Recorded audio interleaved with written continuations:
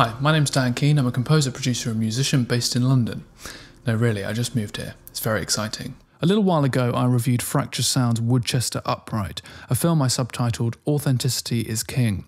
What I loved about this piano was how bold it was. Three dynamic layers, two round robins. It was so intentional. It didn't try to do everything, but it nailed a specific aesthetic that was at its core. Well, anyway, a short while after that video was posted, Fracture Sounds emailed me asking if I wanted to try out their Midnight Grand a piano with a similar sonic fingerprint but applied on a grand scale to a grand piano, a Steinway Model D.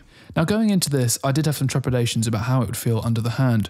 I think for upright pianos, there's a preconceived intimacy there that goes hand in hand with this softly recorded approach.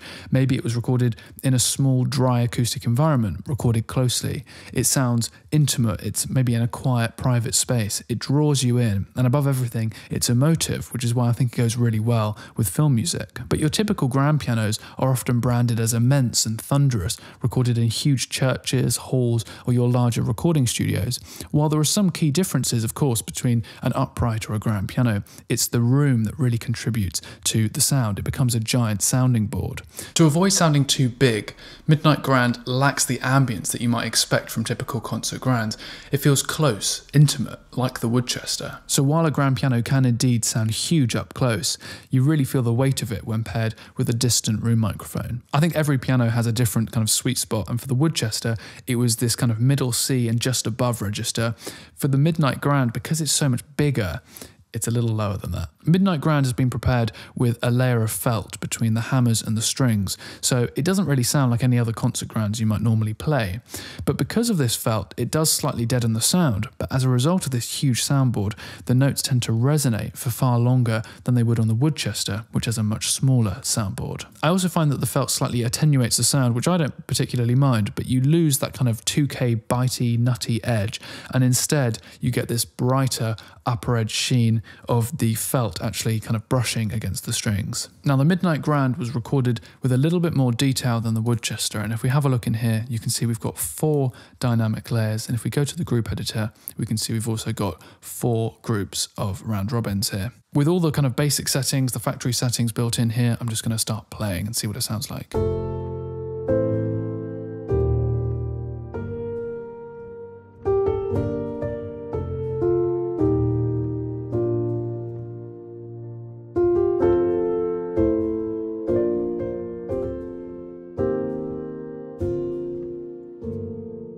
In a similar way to the Woodchester, we've also got these layers that we can build in here. So after the notes have decayed, we start to get these synthy elements.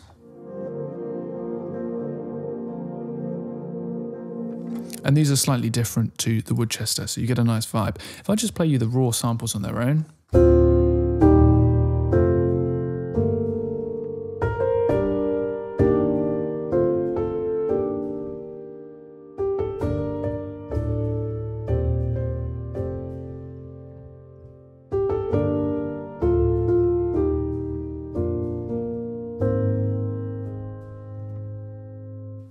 I mentioned that the low frequencies are the ones that really kind of ring out.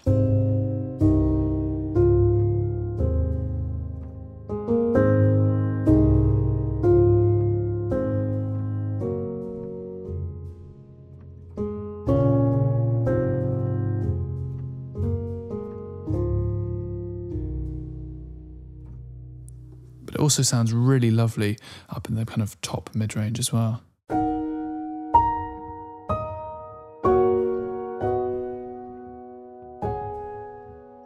If I turn off the reverb as well.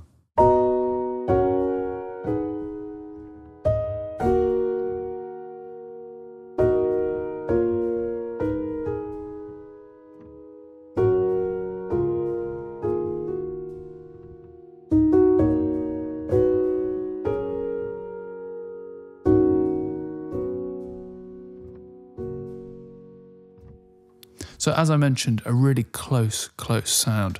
Now, in a very similar way to the Woodchester, we've got the same controls here. We've got a room tone, which starts to introduce some of the character of the room.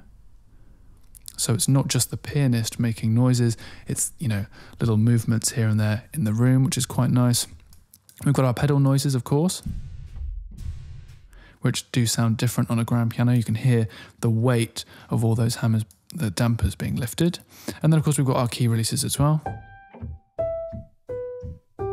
If we wanted a much more kind of intimate sound,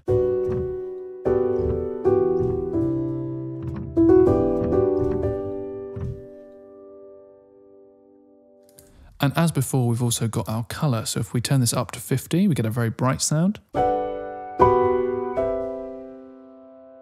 if we turn it down, we get a more kind of intimate sound.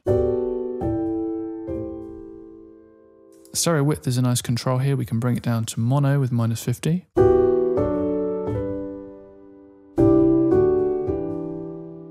And then if we turn it up, we get a much broader sound, which we slightly lose some of the middle range. So it's something to be careful of.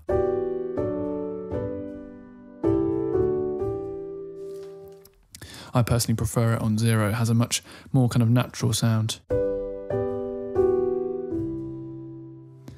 Now, our atmosphere intensity here, this refers to sort of how vibrant the additional pads are. And if I just mute these raw elements, I'm going to show you what the haze sounds like on its own.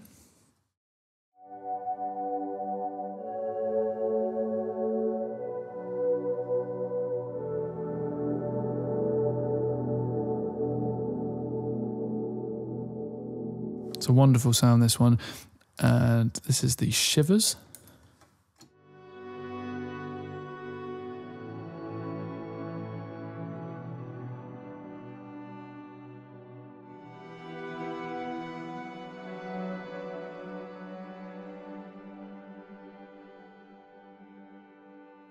So it's a very delicate sound. It sort of sounds like there's a bit of a reverse in there, which I really like, but it kind of, it's very gentle. You know, it accompanies these samples really gently.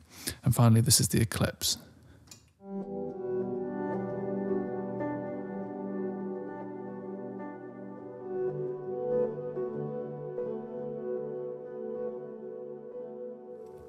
So you'll notice even when I play in the low registers,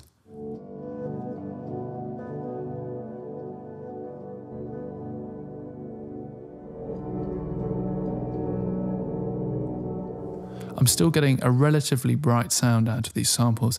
So it sort of helps to accompany the raw samples.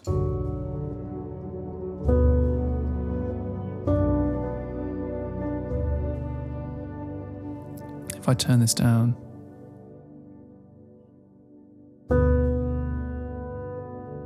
it's a much kind of deadened sound.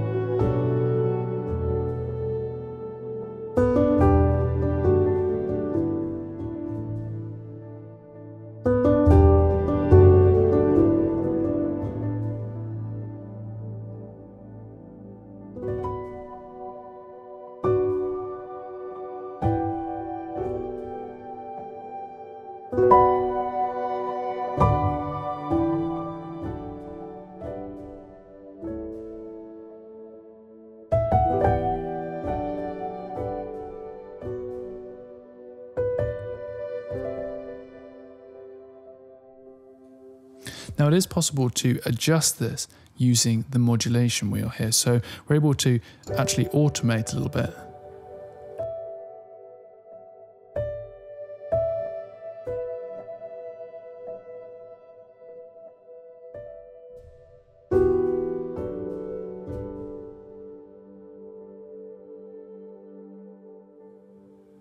which helps just to give a little bit more control over the sound.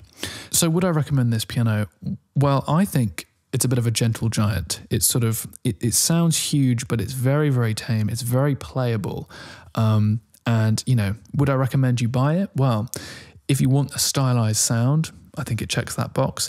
If you want to steer into the zeitgeist and get what people are really hoping for at the moment, which is this soft sound that goes so well with drama, but also in the kind of the pop setting of things, you know, I hear this being used on quite a lot of more kind of contemporary music that doesn't typically call for classical music.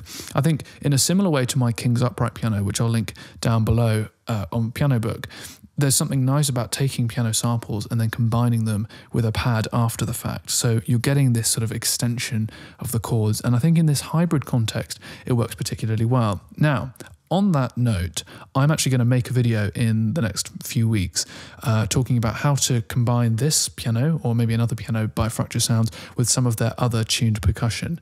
Um, I'm not kind of affiliated with Fracture Sounds, but they did send me this piano for free and they have sent me some other products as well to play with. So uh, take that for what it's worth. But this isn't a biased review or anything. This is just me kind of talking about things that I like. Um, now, speaking of things that I like, I like discounts and I'm sure you do too. Now, this piano and others are currently discounted on fracturesounds.com as part of the Black Friday deals. So, if you're interested in grabbing this, then do get it while it's on discount at prices that you won't find during the rest of the year. Thank you so much for watching. Subscribe if you haven't done already, and I'll see you in the next one.